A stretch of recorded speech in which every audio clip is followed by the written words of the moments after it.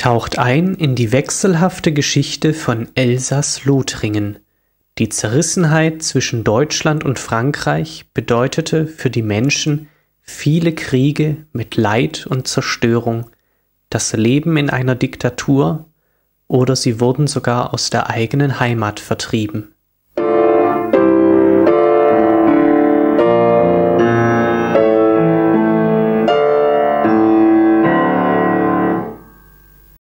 Wann beginnt die Geschichte von Elsass-Lothringen?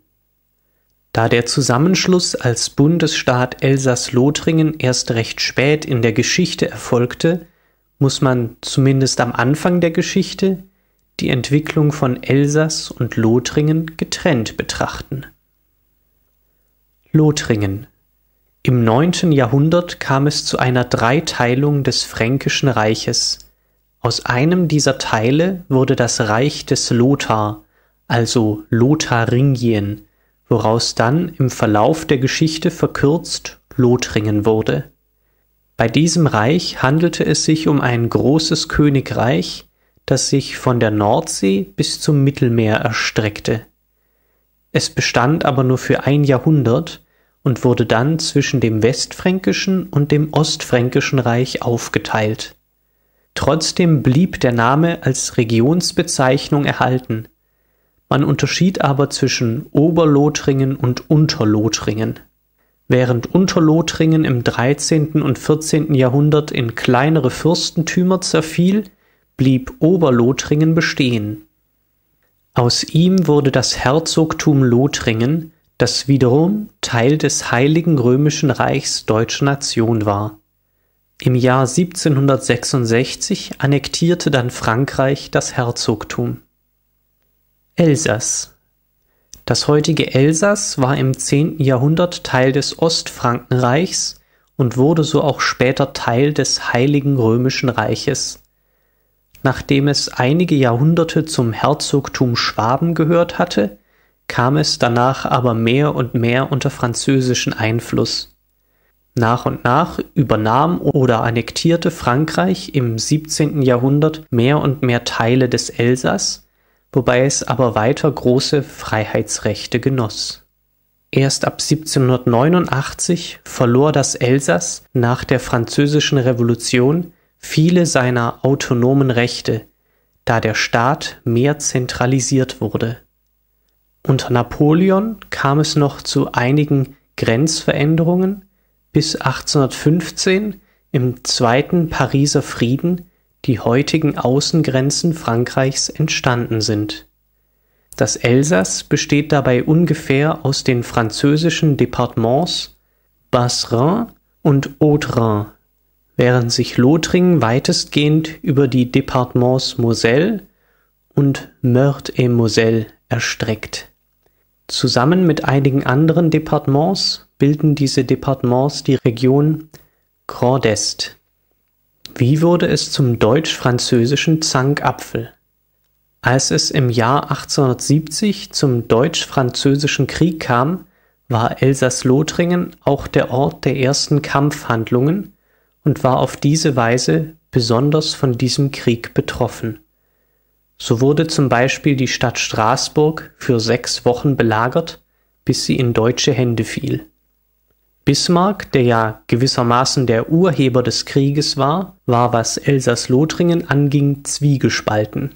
Grundsätzlich war sein Ziel, durch den gemeinsamen Krieg der deutschen Teilstaaten gegen Frankreich zur endgültigen Bildung eines Nationalbewusstseins zu sorgen, was ihm ja auch gelang.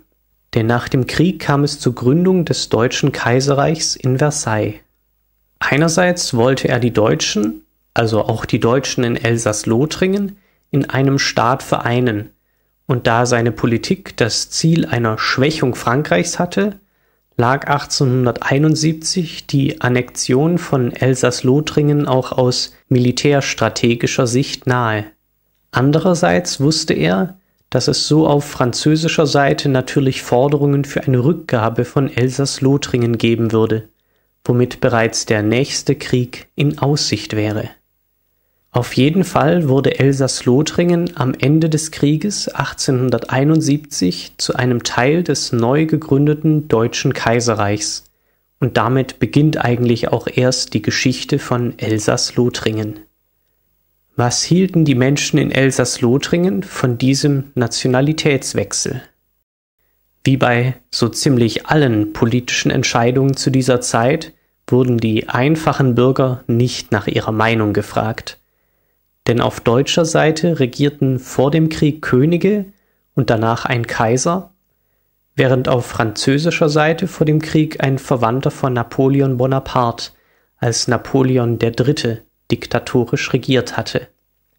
Aber zumindest in Frankreich setzte sich nach dem Krieg langsam eine Republik durch, was natürlich kein Wahlrecht für Frauen beinhaltete. Man muss es ja nicht gleich mit der Demokratie übertreiben. Die Elsass-Lothringer mussten sich 1872 entscheiden, ob sie deutsche Staatsbürger werden oder französische Staatsbürger bleiben wollten. Falls sie sich für die französische entschieden, bedeutete dies aber auch, dass sie noch im selben Jahr nach Frankreich auswandern mussten. Zuvor durften sie aber noch ihr Hab und Gut verkaufen und das Geld mitnehmen. Letztlich entschieden sich so nur drei Prozent der Bevölkerung dazu, nach Frankreich zu gehen. Aber auch in den folgenden Jahren wanderten mehr Menschen aus Elsass-Lothringen aus als ein, was aber damals durchaus normal war, da mehr Menschen aus Deutschland aus als einwanderten. Zwar war der große Teil der Bevölkerung deutschsprachig, aber in der Konfession unterschied man sich deutlich vom neuen Heimatland. Denn während Preußen und damit das ganze deutsche Kaiserreich mehr evangelisch geprägt war, so waren die Elsass-Lothringer mehr katholisch geprägt, weshalb sie sich eher mit dem katholischen Frankreich identifizierten. So kam es zur skurrilen Situation, dass bei der ersten Reichstagswahl 1874 vor allem solche Vertreter für Elsass-Lothringen in das deutsche Parlament gewählt wurden, die die deutsche Oberherrschaft nicht anerkannten Teilweise konnten sie noch nicht einmal Deutsch sprechen. Doch in den folgenden Jahrzehnten nahm dieser französische Einfluss langsam ab, bis er in den 1890er Jahren fast keine Bedeutung mehr hatte. Zum einen hatten sich in Frankreich Staat und Kirche mehr voneinander getrennt, womit katholisch für die Menschen nicht mehr gleichbedeutend mit Französisch war.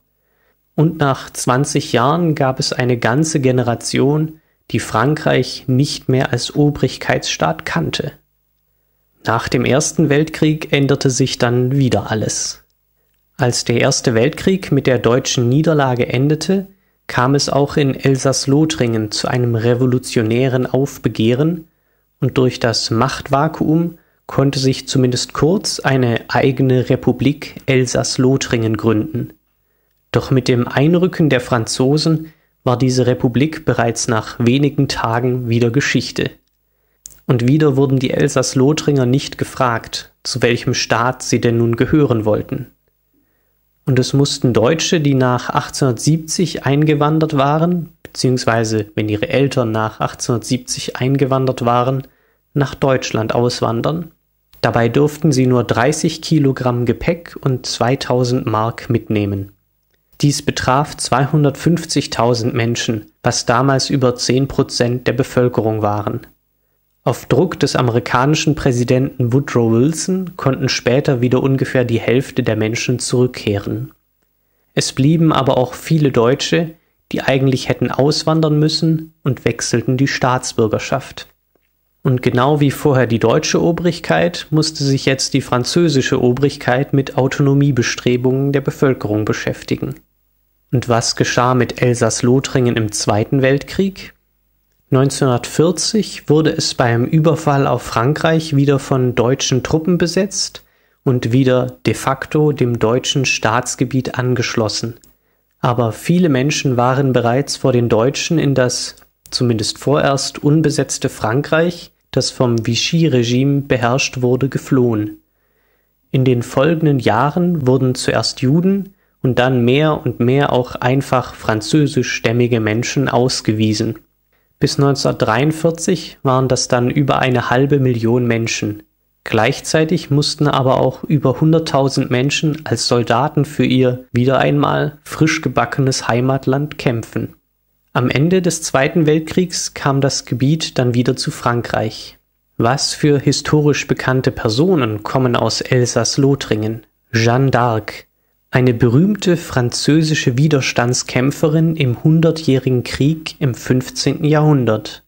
Alfred Dreyfus. Seine unschuldige Verurteilung löste in Frankreich eine innenpolitische Krise aus. Robert Schumann, ein Wegbereiter der europäischen Einigung als französischer Außenminister. Albert Schweitzer. Er war ein deutsch-französischer Friedensnobelpreisträger. Gibt es noch Spuren der deutschen Vergangenheit in Elsass-Lothringen? Zumindest sprachlich ist das Gebiet von Frankreich erfolgreich assimiliert worden, denn das Deutsche mit seinem regionalen Dialekt wird heute kaum noch gesprochen.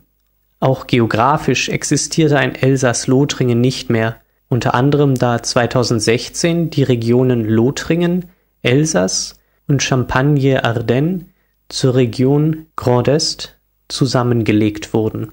Aber es bestehen noch einige Feiertage, die eigentlich typisch deutsch sind und die es im Rest Frankreichs so nicht gibt, nämlich zum Beispiel der Karfreitag und der zweite Weihnachtsfeiertag. Ebenfalls gibt es in Frankreich eine deutlichere Trennung von Kirche und Staat durch ein Laizitätsgesetz von 1905, das aber nicht für Elsass-Lothringen gilt. So werden in Elsass-Lothringen die Priester durch eine Verordnung aus dem Jahr 1801 staatliche Gehaltsempfänger und es findet Religionsunterricht in den Schulen statt. Außerdem gibt es im Bereich der Gewerbeordnung und im Sozialversicherungsrecht noch einige Gesetze aus der deutschen Zeit vor dem Ersten Weltkrieg. Ein mehr witziges Zeugnis der deutschen Vergangenheit dieser Region ist die Fahrweise des Bahnverkehrs. Denn in Frankreich fahren die Züge immer auf der linken Seite, während in Deutschland Züge immer auf der rechten Seite fahren.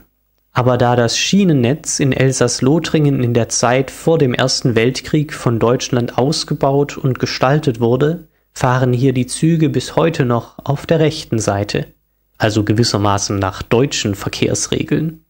Wenn euch das Video gefallen hat, würde ich mich über ein Abo sehr freuen. Und vielleicht interessiert euch dann jetzt dieses Video, in dem ich mich mit der deutschen Vergangenheit der Stadt Kaliningrad bzw. Königsberg beschäftige. Und dann bis zum nächsten Video.